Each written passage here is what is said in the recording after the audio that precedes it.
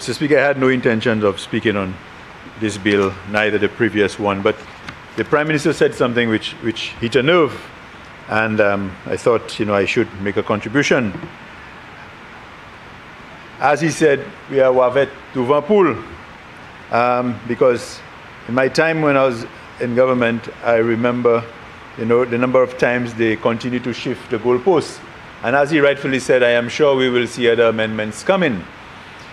But, Mr. Speaker, I want to urge the Prime Minister and the government because I think that's just the tip of the iceberg of things to come. We recently heard what transpired with the government of Jamaica and the diplomats that the, the US have given an ultimatum.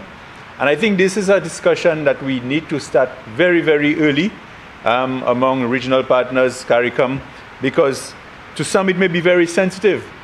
But at the end of the day is the, the, the ultimatum that we may be given, you know, to go down that road, Mr. Speaker. But I also found it opportune with the, the, the Prime Minister's contribution to speak on the Prevention of Misuse, Drug Prevention of Misuse Act.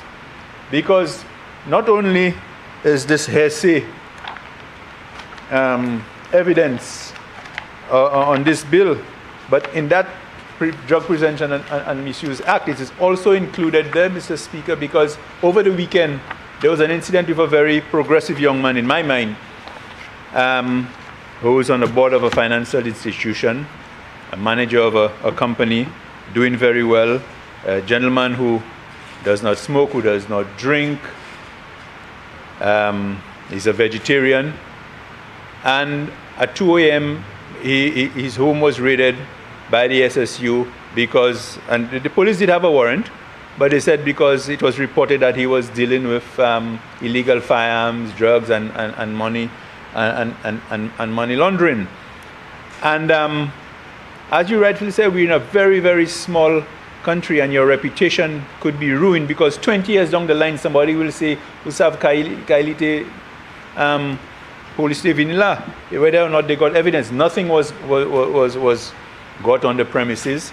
But you know what is highly um, irregular to me is that the police, in their search for all of that, and I'm not blaming the police at all because the police have their work to do, but the police in all of that, the, the gentleman's car was right there. They did not go into his car. He has a business next door, very close. They did not go. So it, it, it, it speaks